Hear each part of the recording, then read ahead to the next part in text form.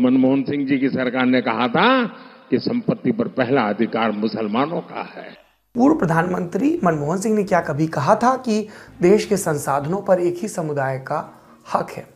हमने तथ्य जांचे तो ये दावा गलत लगा। Believe our collective priorities are clear agriculture irrigation and water resources health education critical investment in rural infrastructure and the essential public investment needs of general infrastructure along with programs for the uplift of scheduled castes, scheduled tribes, other backward classes, minorities and women and children.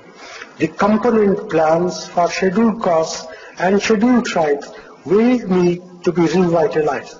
We will have to devise innovative plans to ensure that minorities, particularly the Muslim minority, are empowered to share equitably in the fruits of development. They must, they must have the first claim on our resources.